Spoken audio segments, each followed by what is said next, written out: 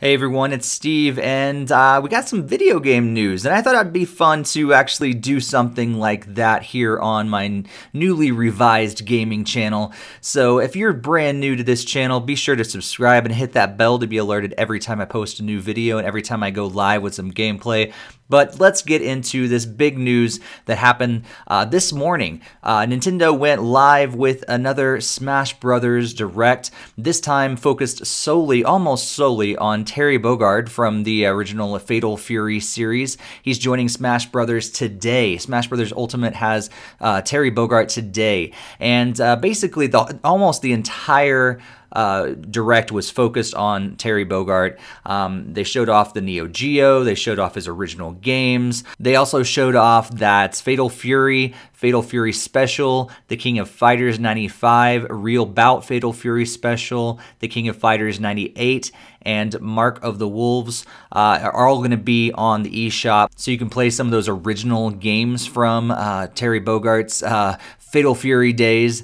And uh, you can also purchase him in the game, of course, uh, but you can also get him if you already purchased that uh, that Challenger pack. And so right now we have uh, four of those five characters that we already have. So we've we've gotten Joker so far, we've gotten the Hero, uh, we've gotten Banjo and Kazooie, and now we have Terry Bogard. And there's one more fighter that we have not received yet. We don't even know uh, who it's going to be, when it's going to come out, or anything like that. But we're of course waiting waiting with bated breath.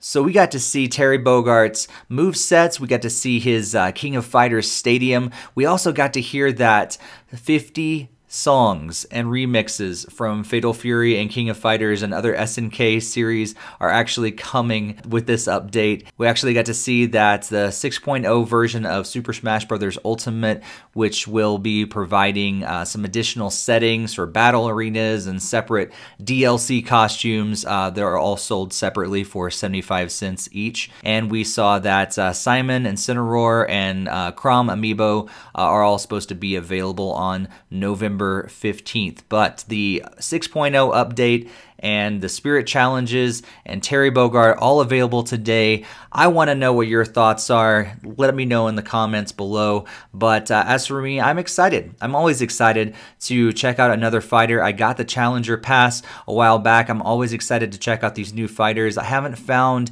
any of them that I really, really like that takes over as my main character yet, but I'm really enjoying it. And Terry Bogard actually might be one of those. I really enjoy playing with Ryu. I think he's very similar to that that.